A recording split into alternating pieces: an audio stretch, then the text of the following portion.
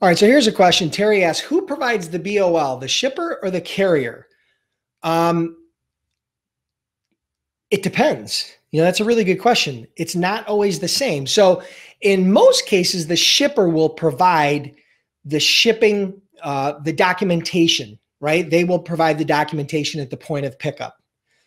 But if not, the carriers will have a BOL that they can fill out with all the shipper information um, and then, of course, that needs to be signed because a bill of lading, a BOL, just so people understand, a bill of lading is actually a legal contract. It's a contract for carriage.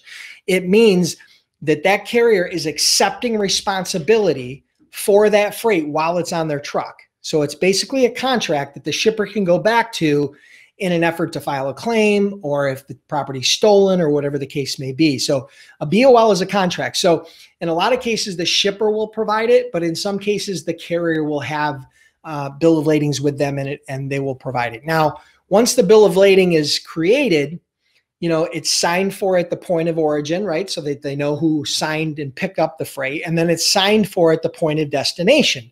And the destination location keeps a copy of that bill of lading. The carrier keeps a copy of that bill of lading.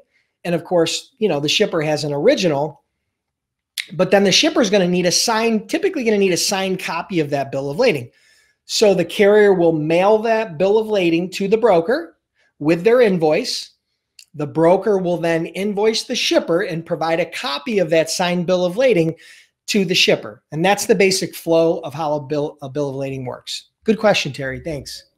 Hey, if you enjoyed this Freight Broker Q&A, make sure you subscribe to my YouTube channel and don't forget to click the little bell to ensure that you get notified every time I release a new video.